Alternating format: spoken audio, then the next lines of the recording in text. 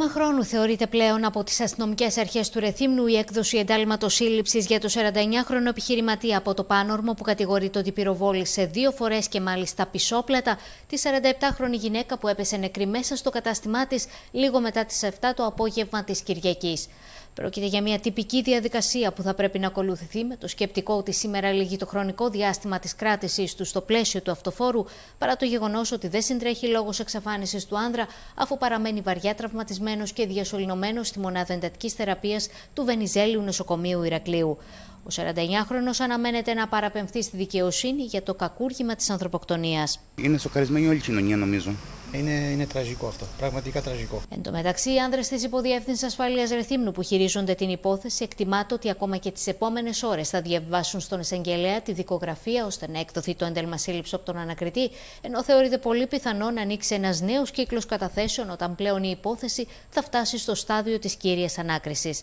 Οι τελευταίες πληροφορίες της Κρήτη TV κάνουν λόγο ότι μέχρι και το μεσημέρι είχαν περάσει το κατόφλι της ασφάλειας αρκετοί συγγενείς και των δύο πλευρών, αυτόπτες μάρτυρες, καθώς και άλλα πρόσωπα που γνωρίζουν κάτι σχετικό για τις όποιες σχέσεις είχαν θήτη και θύμα, που ήταν και οι δύο επιχειρηματίες και μάλιστα τα καταστήματά τους βρίσκονται το ένα ακριβώς απέναντι από το άλλο.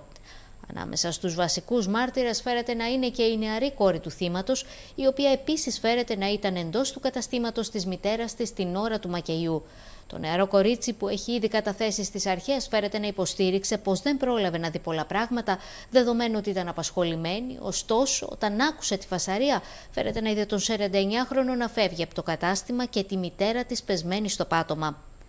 Και μπορεί η υπόθεση να εξακολουθεί να στρέφει πάνω της στα φώτα της δημοσιότητας, κυρίως για την ακριότητα της πράξης, ωστόσο δεν έχει προς το παρόν διευκρινιστεί το κίνητρο που όπλησε το χέρι του δράστη, που λίγο μετά την πράξη του επιχείρησε να βάλει τέλος στη ζωή του, στρέφοντας την ίδια κυνηγετική καραμπίνα προς το πρόσωπό του. Το σίγουρο πάντως είναι ότι οι αρχές, πέρα από το προφίλ του, που έχει ήδη τεθεί στο μικροσκόπιό τους, έχουν ξεσκονίσει και το ποινικό του παρελθόν, καθώς δεν είναι η πρώτη φορά που απασχολεί την Ελλάδα στο Ρέθυμνο, δεδομένου ότι στο παρελθόν είχε συλληφθεί επειδή πυροβόλησε και τραυμάτισε ένα νεαρό τουρίστα έπειτα από διαπληκτισμό που είχαν, ενώ επίσης είχε εμπλακεί σε θανατηφόρο τροχαίο με θύμα μια αλλοδαπή γυναίκα. Καλοί άνθρωποι,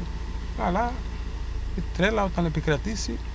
σε ό,τι αφορά δε στην πορεία της υγείας του, οι πληροφορίες αναφέρουν ότι προς το παρόν δεν διατρέχει κίνδυνο η ζωή του από τα βαριά τραύματα που φέρει στο πρόσωπο, ωστόσο παραμένει διασωληνωμένος και φυσικά σε καταστολή στη μονάδα εντατικής θεραπείας του Βενιζελίου, με τα επόμενα 24 ώρα να χαρακτηρίζονται κρίσιμα.